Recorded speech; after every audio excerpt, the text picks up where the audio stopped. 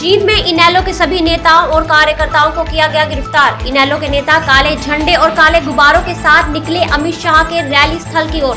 जिला अध्यक्ष कृष्ण राठी और विधायक परमिंदर ढुल कर रहे हैं इस मोर्चे की अगुवाई। अमित शाह का हेलीकॉप्टर पहुँचा। रैली स्थल पर विपक्ष कार्यकर्ताओं के साथ महिलाओं ने भी जमकर की नारेबाजी। गिरफ्तारी होने पर भी इनेलो कार्यकर्ता सात मार्च को भाजपा के खिलाफ आंदोलन की बात कर रहे हैं।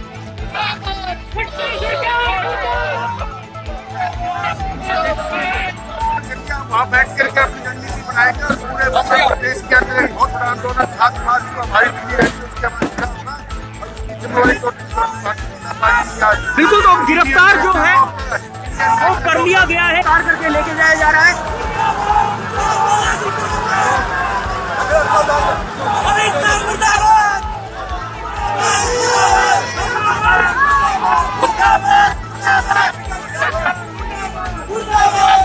देख सकते हैं सभी नेताओं को गिरफ़्तार